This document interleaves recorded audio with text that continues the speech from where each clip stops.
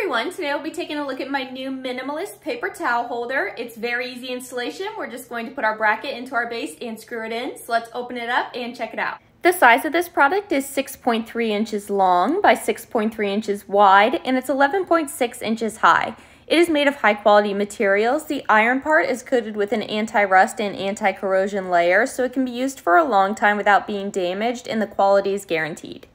This paper towel rack uses minimal ironware and bamboo base to create the ultimate space that's suitable for any kitchen.